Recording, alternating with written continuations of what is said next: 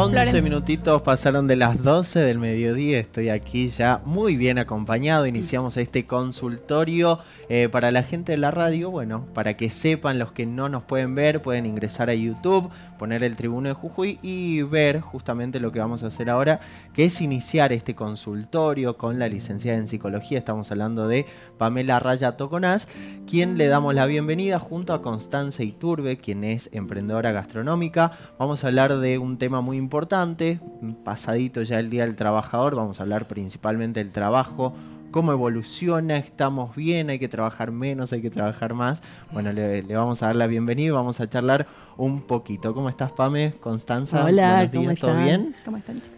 Bueno, eh, estamos saliendo por radio ahora también. Me encanta, qué lindo. Eh, licenciada, si quiere darle la bienvenida a los chicos de la radio. bueno, me parece que el ser compañeras en este espacio me parece fantástico. Un abrazo para todos, porque poder estar ahí acompañándote mientras vas manejando a mí, mientras cocinas, mientras pensás qué haces, ¿no? Me parece fantástico este, estar acompañados y el hacer salud desde la comodidad de la casa. A mí me parece que es un momento que hay que mm, propiciar espacios que sean fáciles, accesibles y cómodos. Yo veo la salud mental como un proceso más bien educativo y de aprendizaje. Yo creo que si desarrollamos nuevas habilidades para mirar, para pensar, para sentir, para hacer, estamos haciendo salud. Y agradezco profundamente que Connie me acompañe. Connie es para los amigos. Gracias, un placer estar acá. Estaban ideando cosas fuera del aire, no les voy a decir nada, pero tienen buenos planes las señoritas. Sí, sí. muy bien, bueno, Pame, ¿cómo podemos iniciar con este tema que la verdad es muy, muy interesante? Bueno, hoy les digo, acompañen la página, está en el digital y está en el diario sobre el Día del Trabajo. La primera vez que yo leí este, de qué se trataba la, etimología del trabajo me, me impactó muy fuerte porque viene de tripalium, tres palos, que tiene que ver con un instrumento de tortura ¿no? Este, con el cual se sometía. ¿no? Yo creo que hay muchas formas de nuevas esclavitudes, ¿no? Porque no solamente tenía que ver con la tortura del esfuerzo, sino también con la tortura psicológica. Y yo creo que hoy la gente está muy torturada psicológicamente con respecto a sumar y restar, a ver si llega, si no llega. Eh, vamos viendo qué recortes hacemos. Creo que entonces me pareció que estaba bueno como repensar ¿no? nuevas formas de economía, nuevas formas también de hacer en red. Sí. ¿no? Eh, y desde ahí dije, bueno, me gustaría que Constanza digo, nos acompañe, yo digo que es mi amigo unicornio, este, porque después que había leído el artículo que escribí, yo dije, ¿yo vivo en esta sociedad o no vivo? Porque parece hasta utópico, ¿viste? ¿Cómo, cómo, poder construir otra sociedad? Y me parece que las crisis nos invitan a esto, a nuevos desafíos, ¿no? Y bueno, me gustaría, Connie, que, compartas tu mirada, o sea, no solo es emprendedora gastronómica, también este... Bueno, yo eh, respecto al trabajo, eh, siempre tuve la postura de que el trabajo eh, deja de ser trabajo cuando cuando te hace feliz. Y cuando haces lo que realmente te gusta hacer y cuando el grupo de trabajo, como ustedes lo veía hace rato, que se divierten fuera del, trabajo, se divierten, se hacen bromas. Eso es un trabajo que, a pesar de que te tengas que levantar todos los días a la tal hora, venir, cambiarte y de salir, decir, uy, tengo que salir, uy, que mira el clima, uy. Eh, uno lo mismo lo hace porque te hace feliz. Llegás acá, estás contento, estás con un grupo eh, y el grupo, la manada, hace que uno se sienta feliz. O sea, depende mucho de la manada, de, la, de los compañeros, del compañerismo y del grupo. Si tu grupo eh, tiene falencias o tiene cosas feas o, o no te sentís cómodo y parte, ahí creo que el trabajo empieza a ser eh, palazos. Claro, a mí igual desde hace un tiempo, desde que leí la etimología, a veces se me escapa trabajo, ¿no? Pero me gusta pensarlo más como un, ofrecer un servicio. Yo no trabajo, aunque técnicamente se llame así, yo ofrezco un servicio, un espacio eh, de escucha donde en intercambio por esa escucha yo obtengo una remuneración. ¿no? Me gusta ver los espacios así como intercambios energéticos y como ofrecer servicios, porque me parece que está bueno poder elegir lo que hacemos. ¿No? El tema es que yo creo que hay, hoy hay mucha gente que no está pudiendo elegir, por un lado, y después que todos estamos entrenados, digamos, como yo también cuando en su momento empecé como psicóloga, mi objetivo máximo era entrar al Estado, digamos, ¿no? Y me enamoré en ese momento del San Roque. Eh, con el correr el tiempo sé que si en algún momento elijo no estar más en estos espacios, lo, voy a hacer. O sea, si me quedo es porque todavía me gusta, ¿no? Pero cuando me deje de gustar o me agote ese espacio, sé que voy a dar un paso hacia algo nuevo. Sí, entonces creo que el saber que podemos elegir está bueno. Y para poder elegir hay que ir construyendo. O sea, yo voy construyendo, no es que un día voy a saltar a la nada mismo, o sea, voy construyendo. Eh, hoy hablaba con una señora y me decía muy angustiada, pero mi hija buscó trabajo y no hay. Y yo no sé si el trabajo existe como, como no, vení que te quiero dar esto. Yo creo que uno tiene que ir eh, convirtiéndose en oferta, tiene que ir desarrollando miradas de qué necesita el mundo y qué tengo yo para dar. les aconsejo seguir la plataforma de Mint Valley, ¿no? Él tiene tres preguntas que a mí me encantan, ¿no? Este, ¿Qué tengo para dar? ¿Cómo quiero contribuir? ¿Y cómo quiero crecer? Las cosas que hacemos deberían generar estos, estas tres preguntas, porque desde ahí podemos elegir otras cosas. Yo creo que estamos ante una caída de, las instituciones. Hoy la, educación formal no nos garantiza nada. O sea, yo tengo que seguir una carrera si la carrera tiene que ver con mi vocación. Tenemos que volver a la conexión de propósito, vocación y disfrute. ¿no? Hay muchas otras formas de, economía, muchas otras formas de generar, y creo que tenemos que poder acompañar este salto, y la crisis nos empuja muy bien a esto, ¿no? Totalmente. Recién hacías hincapié en lo que es la educación. Eh, me parece que hoy estamos viviendo una situación de que hay mucho de todo, ¿no? Y el hecho de reinventarse y, ofrecer tus servicios me parece fundamental para conseguir un trabajo o si no para emprender. Em, y en relación a esto, ¿el ambiente laboral es importante?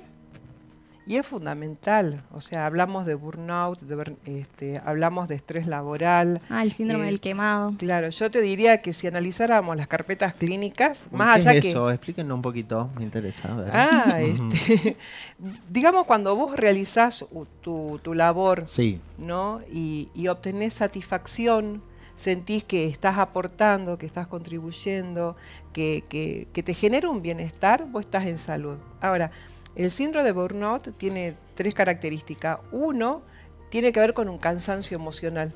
Todos nos cansamos con lo que hacemos.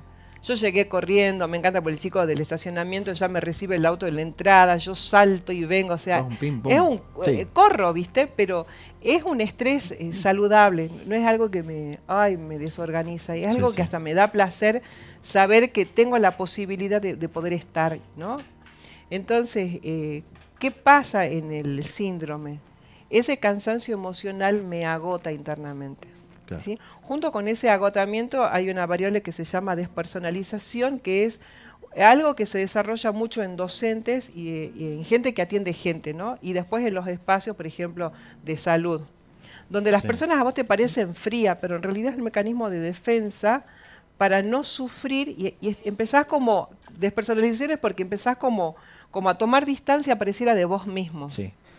¿Qué es la persona que nos recibe, nos atiende en ese sentido? La persona que nos recibe, el médico que te hace un feedback, el, el, que está atendiendo y que vos decís qué frío que es, pero en realidad... qué mala onda, así, ¿viste? Claro, qué mala onda, pero se pasó de rosca de estrés y está como distante, como ajeno, ah, como que no le impactara las cosas, ¿viste? Y la tercera dimensión de este constructo tiene que ver... Eh, eh, con una sensación de como si no contribuyeras en nada. Claro. Como un alejamiento, como no te sentís eficaz en lo que estás dando. ¿sí? Cuando vos ya no te sentís que aporta, cuando te sentís ineficaz, estás quemado. ¿sí? Eh, hay muchas formas de prevenirlo, eh, formas también de acompañarlo, pero la creación de ambientes laborales es fundamental, porque todos necesitamos una manada digamos, pasamos muchas horas en, el qué hacer. ¿sí? Entonces, crear una comunidad es fundamental. Por eso también, digamos, políticas institucionales y, de empresas tendría que ser tener un coach, un psicólogo, un alguien que trabaje con el personal y que lo que trabaje no solo sea como la luz para las gallinas y para que pongan más huevos, pues la gente vive cuando vos haces una intervención desde el utilitarismo, sino poder intervenir, si vos como persona estás bien, tu rendimiento mejora. Claro, si vos te sentís agradecido y elegís donde estás, creas una comunidad. Esa comunidad es un factor protector, o sea, que seas feliz independientemente de las complejidades. Somos humanos, algo no nos gusta, ¿viste? Pero generar un ambiente sano es la mejor inversión porque digamos a las empresas y al Estado les sale muy caro no crear buenos ambientes. O sea, si yo te dijera, mira las carpetas, o sea, el colon irritable con qué tiene que ver? Con tensión, ansiedad, estrés, los triglicéridos altos. Yo un tiempo entregaba viandas y me decían las chicas de un banco, ¿por qué si comemos sano, vamos al gimnasio, tenemos los triglicéridos altos? ¿Y cómo está tu nivel de estrés? O sea, si vos no bajás... Listo. Entonces, por más que comas lechuga todos los días, vas a tener todo arriba. O sea, la salud mental y emocional eh, tiene más presencia y más valor de lo que imaginamos. Totalmente. Constanza, con el tema que me interesó mucho que vos decías de llegar a disfrutar tu trabajo, ¿no? Que algunos ya sacan el título de decir, bueno, no, no, no es un trabajo, sino es una actividad que me gusta, que me apasiona y lo disfruto.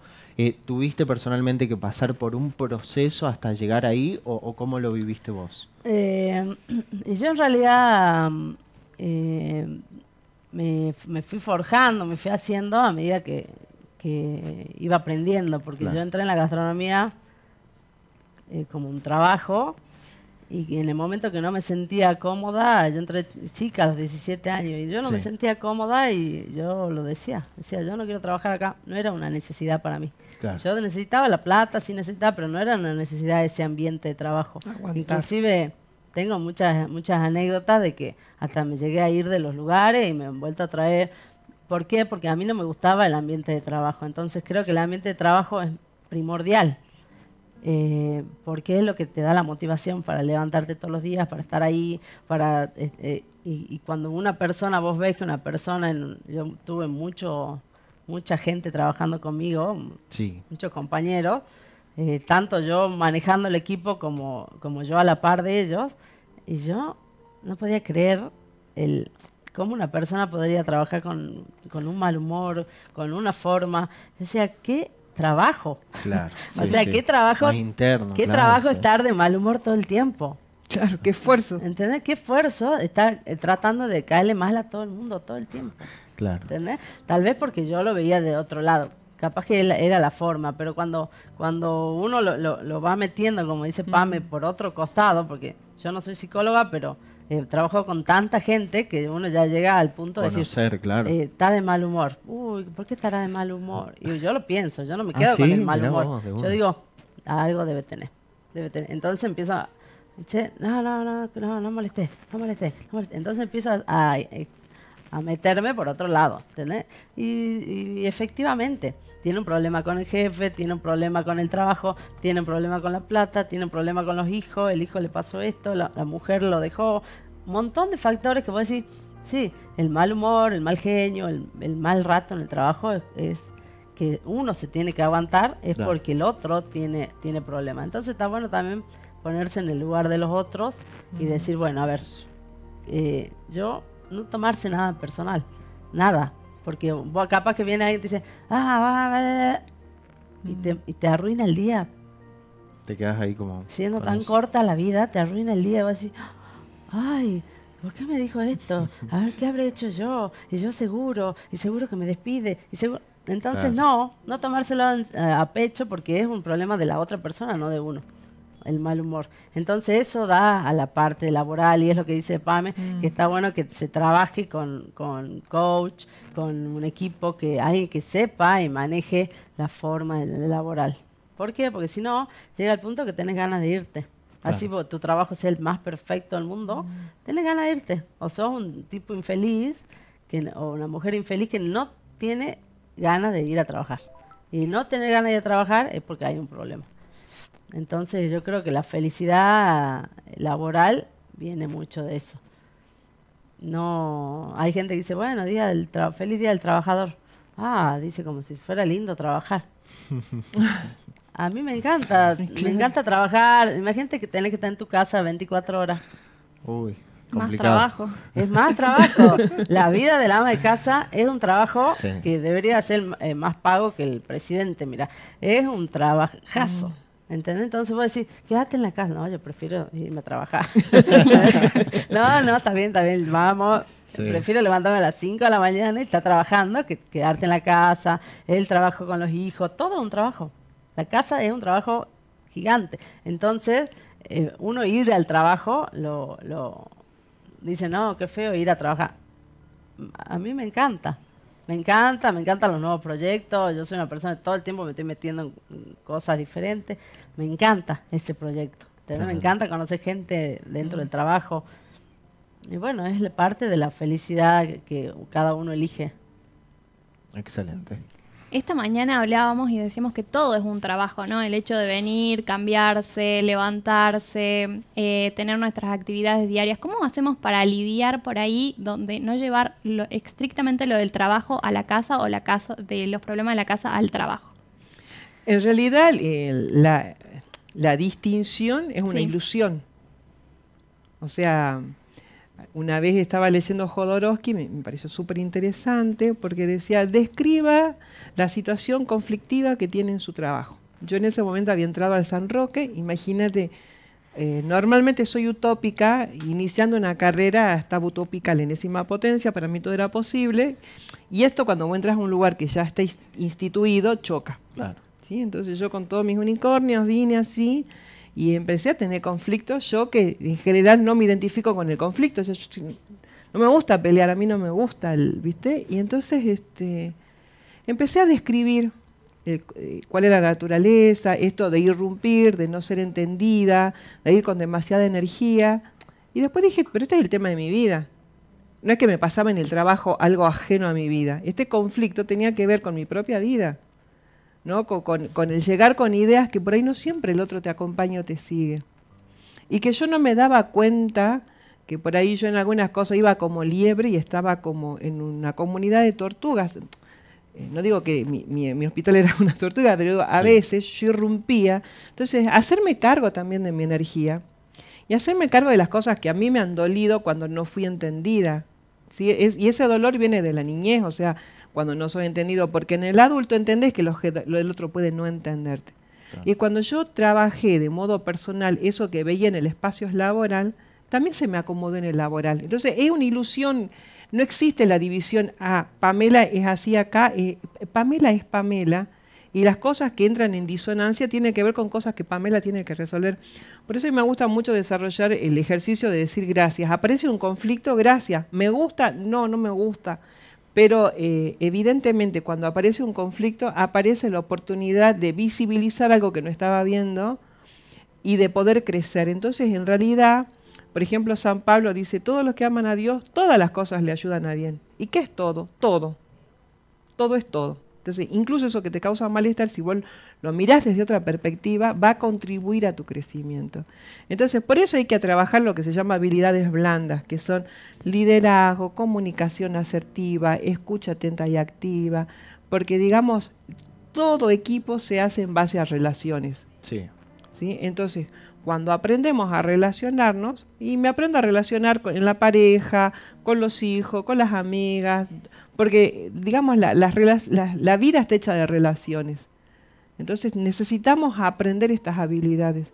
Incluso la inteligencia emocional hoy es más importante incluso que la competencia técnica, porque la competencia técnica con, con entrenamiento la desarrollás. Pero lo otro, bueno, es como chino básico, hay que aprender. Bueno, hay gente que tiene sentido común, ¿no? Este, o este sentido de observación y lo va desarrollando todos de algún modo somos, digamos, psicólogos.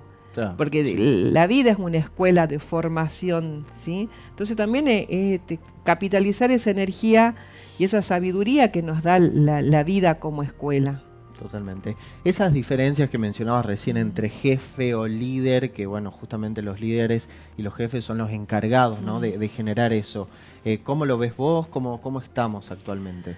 Tiene que existir una jerarquía que dé un orden. No, podemos borrar los órdenes porque eh, hacen una estructura. ¿sí? Yo no puedo poner el décimo piso eh, sin nueve pisos y sin una estructura abajo. O sea, la estructura, el organigrama es necesario. Ahora, el jefe no siempre es el líder. Sería bueno que los jefes aprendan el liderazgo. Eso es fundamental, porque desarrollar esas habilidades es genial.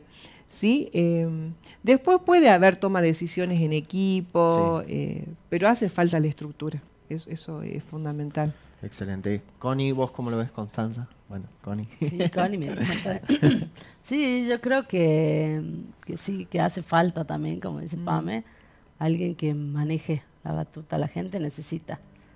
Y de ahí salen los líderes. Está en uno em, transformarse en jefe o transformarse en líder. A mí nunca me gustó ser jefa. Inclusive siempre trabajé a la par de, mi, de mi gente. Y mm, siempre me consideré un líder. Siempre. ¿Por qué? Porque mm, siempre me siguieron. Claro. En las buenas, en las malas, uno tiene momentos buenos, momentos malos. Y bueno, tuve esa suerte. Y me gusta también, a mí me gusta mucho enseñar. Entonces creo que el jefe o los líderes o los que están arriba me parece un, acto muy generoso que una persona te enseñe lo que sabe. Mm. Yo creo que a lo que le falta a la gente es que enseñar. La gente no enseña, la gente no comparte lo que sabe, la gente se lo guarda, como si pensarían que no se pueden morir mañana. Claro, claro. La gente se guarda todo, la gente no quiere, no quiere decir, ah, yo sé manejar esa cámara. ¿Y cómo se hace? No, bueno, bueno, después te enseño. No enseñan, no, yo, yo, yo creé, yo, yo cocino, a mí me gusta cocinar, entonces yo en mi trabajo cocino. Y creé miles de cocineros. Ah, sí. ¿Entendés? Y me encanta que salgan. Y cocineritos. Pero con orgullo, digamos. Con orgullo. y, hoy los veo y tienen sus emprendimientos y cocinan y, creo y cree también líderes, gente que tiene sus negocios, ah, gente, la motivación. Motivación, capaz que a veces uno llega a su trabajo y no está motivado, pero solo motivar a otro, haz lo que yo digo, no lo que yo hago, te, te levanta. Y te encontrás hoy en la calle, después yo, de, bueno, yo desde los 17, imagínate, 20 años en el rubro, Hoy te encontrás con gente en la calle que yo realmente no me acuerdo mucho de todo, lo, de cantidad de gente que pasó. Y te dice, ay, gracias a vos, yo hice esto, gracias a vos, yo hice esto. Ah, le puse el nombre a mi hija por vos, porque vos me hiciste que llegara, llegara donde ya estaba. Y, ahí uno se da cuenta de decir, bueno, eh, eh, qué bien que hiciste tu trabajo, qué bien que motivaste a las otras personas a llegar a donde están. Qué lindo ver feliz a la gente que trabajó con vos, que está con vos, que está a la vuelta, eh, crecer. Qué lindo verte a vos, ah, te compraste un auto nuevo, eh, eh qué bueno, felicidad. Eh, eso, la felicidad, la motivación, no solamente de lo económico, sino del, del ego. De, la persona. A mí me gustaría conceptualizar, me parece muy rico lo que estás aportando, ¿no? ¿Cómo creamos una comunidad? Era algo que decíamos, ¿no? ¿Cómo creamos nuevas formas de economía? O sea, cuando me mueve el placer, y el disfrute se van abriendo oportunidades. Connie se maneja, digamos, en un paradigma de confianza. Vos no sos una competencia, vos podés ser chef. ¿Entendés? Y vas a tener tu particularidad, no sos competencia, sos una par que está, o sea, hay mercado para todos. La gente como está parada en el miedo y en la carencia, entonces como vos sos mi enemigo, compito con vos. ¿no? Entonces, no, no competimos, contribuimos y hacemos, cada uno en su dinámica, de su manera. Después liderazgo con el ejemplo. Ella, o sea, que alguien haga algo fuera de lugar y la Connie te va a bajar todo, así, tú, esto es así, este es el lino, o sea, ejerce su lugar eh, de reguladora o dueña cuando lo es. O sea, eh, porque hay gente que lidera y no se anima a confrontar o no se anima a bajar pautas. Entonces no podés regular. Entonces, sí le gusta un liderazgo compartido, pero ejerce su rol. Y esto es importante, la gente muchas veces no sabe elegir su rol, entonces tampoco sabe liderar. ¿sí? Y lo otro eh, es un ejemplo, o sea, ella no te va a decir hay que ser puntual y ella va a llegar media hora tarde. No llega tarde. Entonces también tiene que ver, volvemos a otra vez a que se construye en base a valores, necesitamos volver a valores. ¿sí? Y necesitamos volver a crear visiones el volver es que antes existían esos valores y se fueron y perdiendo. Yo creo que antes vos, vos comprabas y decías o préstame y no firmabas nada. Y cuando dijiste que lo ibas a devolver, lo devolvía. Hoy ni siquiera con pagaré te, claro. Entonces, yo creo que eh, hay cosas que se han ido perdiendo y que necesitan volver a visibilizarse y hacer, ¿no? Excelente. Flor, consulta. Eh, sí, recién estábamos hablando de, bueno, de un montón de características para un buen ambiente laboral y demás. ¿Cuáles son las características que tiene que tener un buen líder? Vamos las dos, ¿querés empezar vos? Vos, dale. Del lado te- teórico. Del lado teórico y de la experiencia. Eh, creo que el- la capacidad de comunicación. La comunicación para mí es el acto de amor más grande. ¿Qué significa? Cuando yo me comunico, te veo. Creo que a la gente le cuesta ver.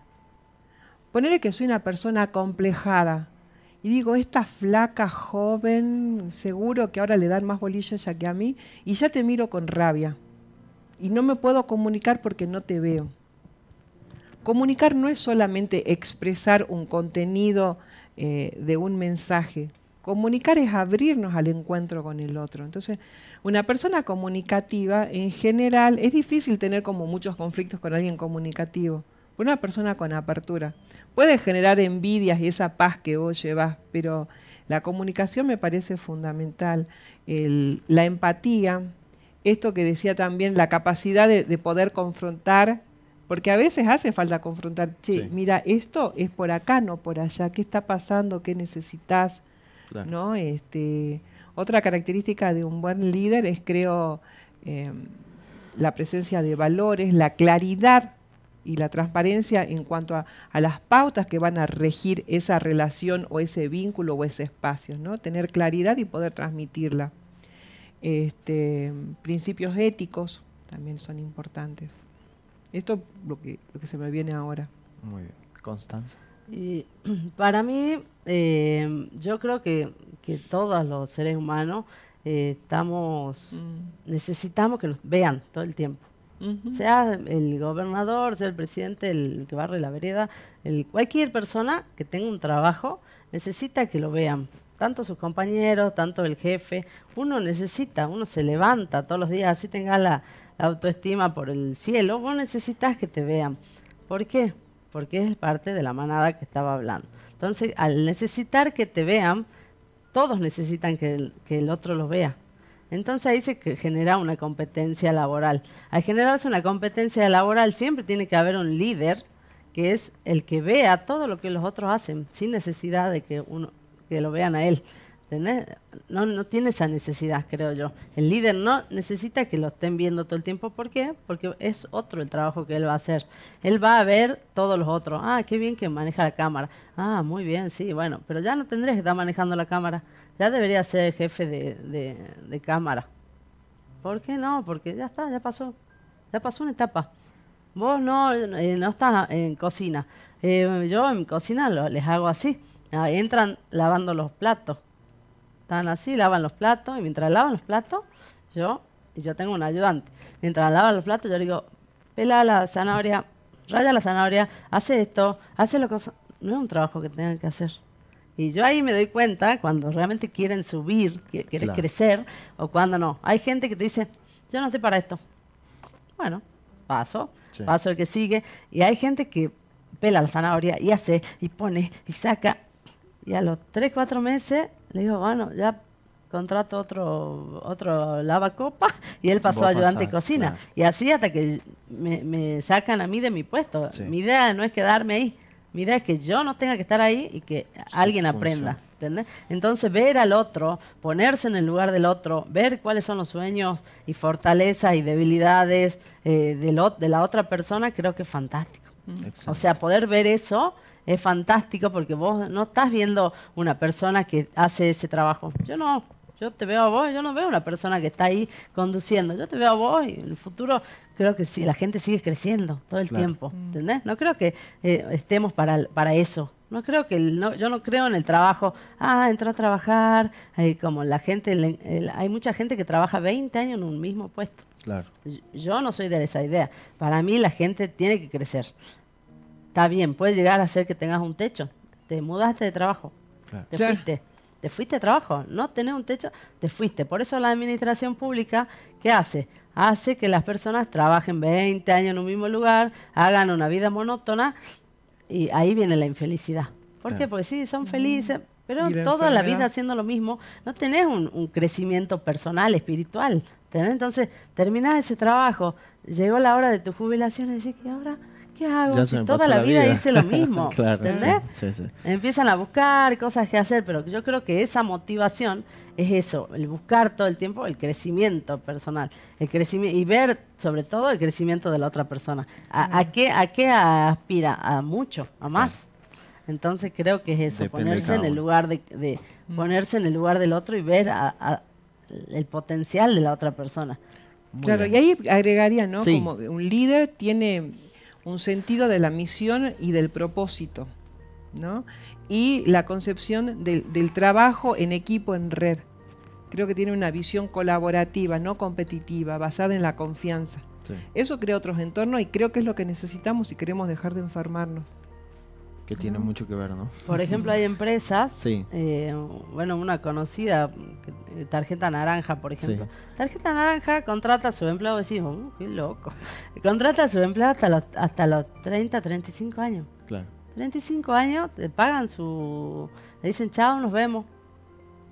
Tipo, a los 35 años, que sos joven todavía, la vida por delante, saliste de un trabajo donde trabajaste con esa carrera, Sí. o sea, de ir subiendo todo el tiempo. Empezaste da- repartiendo folleto en la puerta Sí. y terminaste siendo gerente. Llegaste a un punto, 35 años, te echaron. Y. Te fuiste, nos vemos, anda a crecer, fíjate qué hace. Y ahí vienen los empresarios, y ahí viene el proyecto, y ahí viene la- la- el, el- el dar trabajo a otros. Claro. ¿Entendés? Si vos te quedás toda la vida en un mismo lugar, a la- abajo el ala de alguien, Va a ser complicado. Estás ahí, estás ahí, no es malo. No es malo ni es bueno, es lo que uno decide. Pero no creás eh, fuente de trabajo, no creás eh, oportunidades, no ves a nadie. O sea, sos vos y es lo que, el día a día. Excelente. Bueno, chicas, la verdad que está bueno. ¿eh? Esto es como una, tarla- una charla de té Terapia. durante toda la tarde. Nos podemos quedar muchísimas horas. eh, pero bueno, les agradecemos. Recuerden que, que, bueno que estamos saliendo por la radio también. Así que hoy capaz que por primera vez nos escuchó alguien en el taxi, en el colectivo, donde sea. Así que bueno, Pamela, ¿dónde te podemos encontrar para leer tus artículos, redes sociales, todo? Eh, en principio pueden entrar al tribuno, en la página escrita están todos los artículos, también están la- los streaming y después Sí. como Pamela Raya Toconas, este, estoy en Face, en Instagram, este, también abrí el canal, ahí voy subiendo las Ah, cosas que voy una. haciendo. Tienen preguntas, por favor escriban, háganos Sí, sí. llegar, porque la idea justamente es poder aportar desde, el- desde las cosas que nos van surgiendo en la calle. Estás pelando una papa, estás manejando, estás escuchando y decir, Sí. che, ¿cómo es esto? Y los invito hoy a que se vayan con preguntas, con cuestionamientos, que se pregunten qué hay más allá de mi propia nariz, que hay un mundo infinito. Tenemos que atravesar el miedo y, y dejar de creer todo lo que hemos creído. Este, se está cayendo todo. Aprovechemos el caos. Los caos siempre han sido buenas oportunidades para crear. Sí, el pelo también se me está cayendo. Ah. Eh, Constanza, muchísimas gracias por venir. la Gracias verdad a que un gusto conocer de, de la experiencia, lógicamente, eh, cómo funciona ¿no? el tema del trabajo. Así que bueno, muchas gracias. Me gustaría un, un chivo. Ah. Ah, sí, adelante. Eh, eh, tengo una página nueva, un Sí. grupo nuevo que formé hace, bueno, hace- en la época de la pandemia, que se llama Mirar Jujuy. Sí, me siguen en Instagram, por favor, que es una página que ayuda a las personas. Mira el Jujuy. Eh, Mirar Jujuy. Es en Instagram, en Facebook también. Así que me siguen para ayudar, si necesitan ayuda también. Entonces, un, que toda la sociedad eh, depende, la ayuda depende de toda la sociedad. Entonces, está bueno que nos sigan para poder colaborar o es para como poder. cadenas de favores. Es como una cadena de favores. Ahora estamos construyendo una, una casa para una chica que vive en una carpa. Entonces tremendo. estamos haciendo una cadena de, de favores, gente buscando, nos están donando un montón de cosas. Entonces es interesante que cualquier persona donde esté nos siga, tanto por si necesita o por si Quiere puede ayudar. Quiero ayudar. Excelente, muy bien. Buenísimo, las vamos a seguir entonces. Bueno, chicas, un gusto que, que tengan bueno un buen jueves y ya un lindo fin de semana. Muchas gracias.